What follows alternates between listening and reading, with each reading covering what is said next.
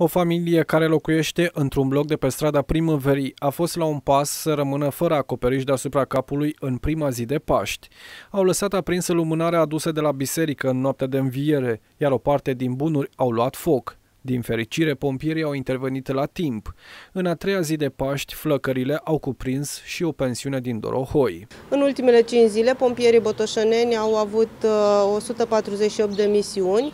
Uh, dintre acestea, 16 uh, au fost pentru stingerea unor incendii.